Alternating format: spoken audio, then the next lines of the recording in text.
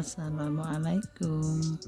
Di video kali ini saya membuat sumpia isi abon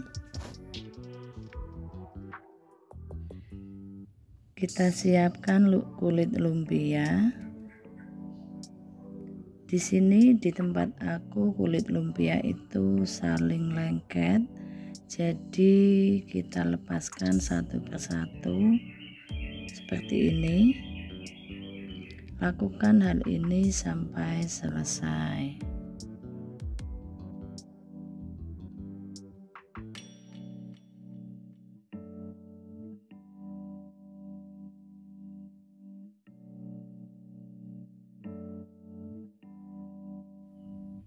Setelah selesai, kita akan rapikan atau tata kulit lumpia kemudian kita akan gunting menjadi dua.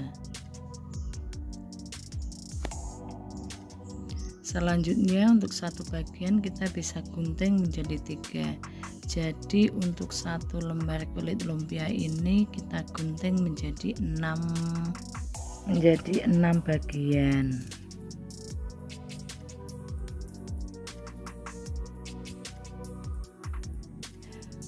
selanjutnya untuk yang sudah kita potong-potong kita masukkan ke plastik.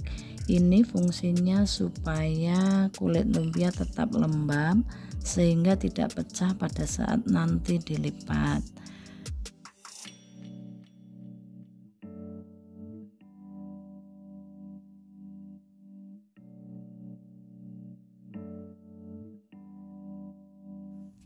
kita siapkan untuk perekatnya yaitu tepung terigu kita campur dengan sedikit air lalu aduk rata. Kemudian siapkan juga abon secukupnya dulu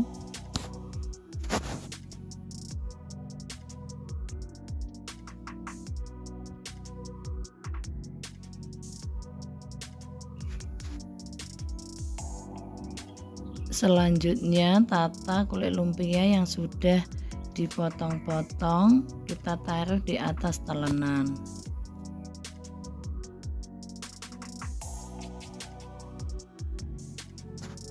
Kita beri abon secukupnya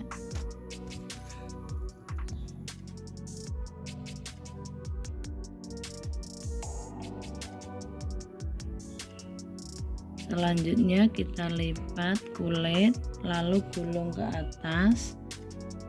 Sambil agak ditekan bagian ujung kita kasih lem lalu rekatkan.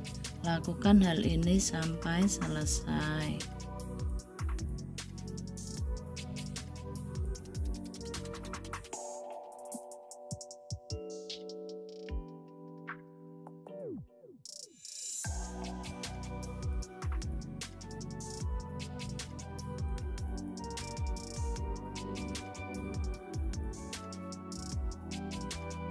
sumpia ini siap untuk kita goreng.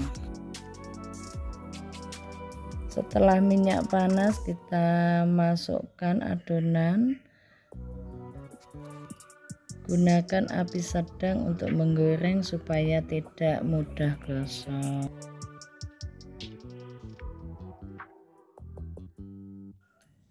Kita bisa aduk-aduk supaya matang merata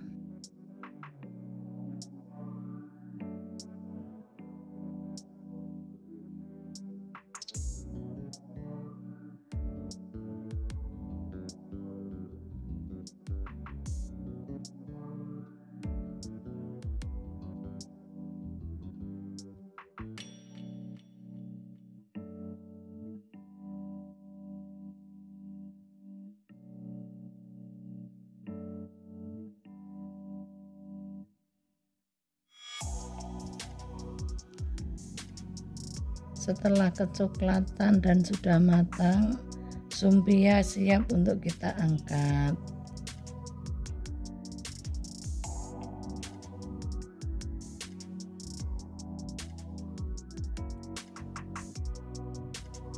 Selanjutnya goreng sumpia sampai selesai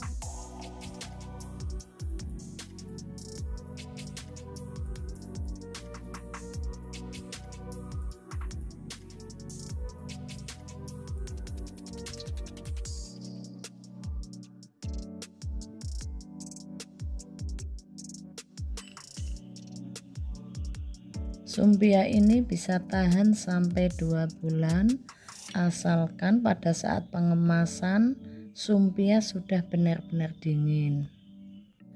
Semoga bermanfaat. Assalamualaikum warahmatullahi wabarakatuh.